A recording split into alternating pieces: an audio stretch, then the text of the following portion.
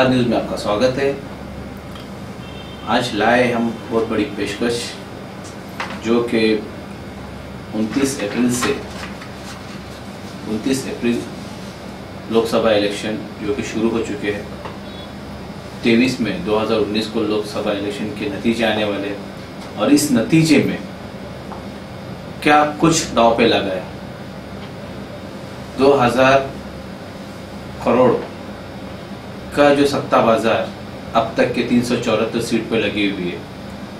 एक सीटों के नतीजे आने बाकी है, जो कि तेईस मई को बुकी लोगों ने, बुकी के लोगों ने, बुकी के एजेंट ने उसको सोलह हज़ार करोड़ का सत्ता बनाने की कोशिश की है। जानते हैं सत्ते के बारे में किस तरह से इस बुकी का पूरा खेल और इस इलेक्शन के टाइम इलेक्शन के वक्त कितना पैसा लगा है? एक छोटी सी नज़र आगाज़ न्यूज़ में, जिसपे हम आप लोगों को पूरा क्लियर कर देंगे क्या किस सीट पे कितना पैसा और क्या भाव से खुला हुआ है। देखते हैं एक नज़र 29 मई 2019 लोकसभा इलेक्शन में जो बावल मतदान में जो लगी हुई है, जैसा कि एक तरफ़ है शिवसेना के सिटिंग एमपी अप्पा बारने और उसके दूसरी ओर है पवार फैक्टर का पवार खानदान का, एक चिराग अजीत पवार। लोगों का नज़रिया और लोगों की सोच कुछ इस इस रुझान की तरफ़ जाती है कि 35 से चालीस हज़ार वोट अप्पा ने अपनी जीत हासिल करने के लिए सकते हैं। और उसी के साथ में, जबकि कांटे की टक्कर है तो अजीत पवार की झोली अजीत पात पवार की झोली में ये सीट बहुत मुश्किल से जाते हुए नज़र आती है। 205 सीट अगर बीजेपी महायुति में लेने में कामयाब होती है तो उसके लिए छियासी पैसे का रेट मुख्य के लोगों ने उसी के साथ ये आंकड़े एक का आंकड़ा यूपीए के लिए, जो महायुति कांग्रेस, राष्ट्रवादी, शेखा पक्ष के, जो महायुति पूरे हिंदुस्तान में हो चुकी है, उसके लिए उन्होंने रेट खोला है डेढ़ रुपए का। आने वाले तेईस मई 2019 को जो ये रेट फूटेंगे, वो रेट है पूरा पूरा सत्ता, सोलह हज़ार करोड़ का पूरा सत्ता आपको देखने मिलेगा। लेकिन अगर कहीं ना कहीं 205 सीट लेने में बीजेपी अगर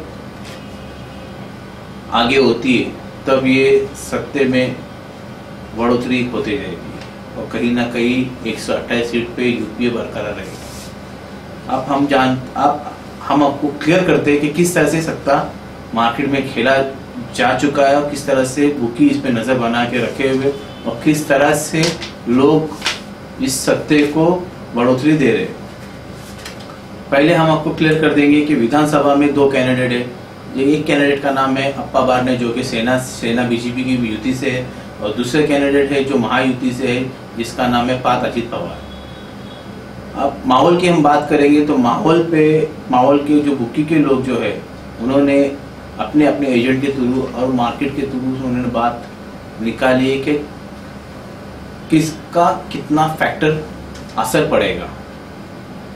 तो इस तरह से माहौल की सीट पार पावर के हाथ से जाती हुई साफ़ नज़र आती है। इसीलिए बारने के ऊपर बीजेपी और सेना के ऊपर 200 करोड़ का सत्ता लगा हुआ है। इसी के साथ हम बात करते हैं रायगढ़ की, जो कि सुनील टटकरे और आनंद गीते में टॉप फाइट है, क्योंकि आनंद गीते स्टैंडिंग एमपी वहाँ पे कम से कम पंद्रह साल से स्टैंडिंग एमपी है अब इनकी काटे की टक्कर, सुनील तत्कर के साथ में। सुनील तत्कर ने जैसा कि साठ हज़ार की लीड को तय रखा है, इसीलिए इस वक्त की जो सीट है वो सुनील तत्करे के खाते में और जहाँ पे पूरा सत्ता है, एक सौ करोड़ रुपए का। या उसके ऊपर भी हो सकता है, डेढ़ रुपए का रेट फाइनल कर चुका है, पुखी ने।